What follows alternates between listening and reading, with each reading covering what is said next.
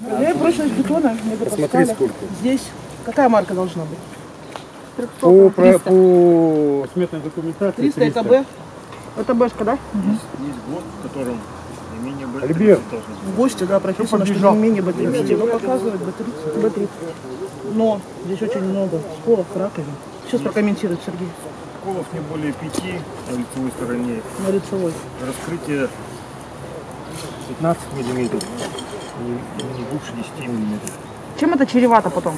Ну, будет попадать влага и будет разрушение. Разрушение. Однозначно. Вот он класс бетона. По документам должно быть не менее Б30 по нормативной документации. Вот правил, который 82 Уступы в стыках бортовых камней в плане, в плане и, и в профиле не допускаются. Прописано. Видите? То есть один выше, Уже- другой ниже. Уже на 10 миллиметров уже занижен этот бордюр. С чем связано? Просела что-то или как-то вот... Неправильно установки.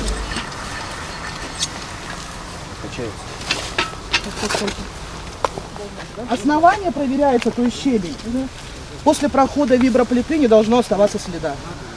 А здесь вы на виброплита килограмм 80. Да? Изначально естественное основание нижнее неуплотнено, соответственно, гра... это какой же слой? Ну, подстилающий слой. Ну и все, соответственно, вот это вот с ним получается.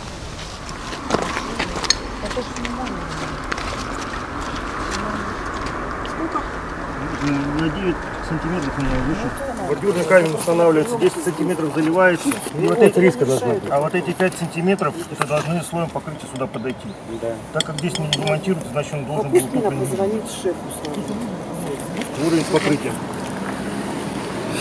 Ну, С внутренней стороны засыпается грунтом в дальнейшем. А вот эта полость асфальта называется.